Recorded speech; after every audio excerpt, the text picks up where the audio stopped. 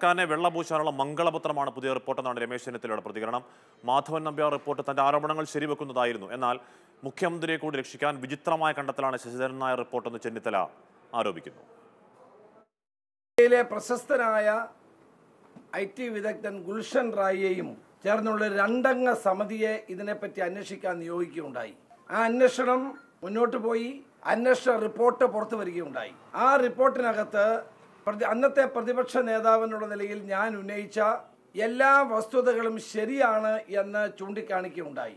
സർക്കാരിന്റെ നിയമവിരുദ്ധമായ പ്രവർത്തനങ്ങൾ ഭംഗിയായി മുൻ കേന്ദ്ര ഐ ടി സെക്രട്ടറി ആയ മാധവൻ നമ്പ്യാരും ഗുൽഷൻ റായും അടങ്ങുന്ന കമ്മിറ്റി ശരിവെക്കുകയുണ്ടായി. ഇന്ന് അതിനുശേഷം government Madhavan Nambiar committee report അട്ടിമറിക്കാൻ വേണ്ടിയാണ് യാതൊരു സാധുതയുമില്ലാത്ത മുൻ നിയമ സെക്രട്ടറിയുടെ നേതൃത്വത്തിൽ ഒരു കമ്മിറ്റിയെ വെച്ചത്. സർക്കാർ ആ കമ്മിറ്റിയെ വെച്ചത് മാധവൻ നമ്പ്യാർ കമ്മിറ്റി റിപ്പോർട്ട് അട്ടിമറിക്കാൻ വേണ്ടിയിട്ടുള്ള സർക്കാരിനെ വെള്ളപൂശാനും വേണ്ടിയിട്ടുള്ളതായിരുന്നു എന്ന് ഇപ്പോൾ ബോധ്യമായിരിക്കുകയാണ്.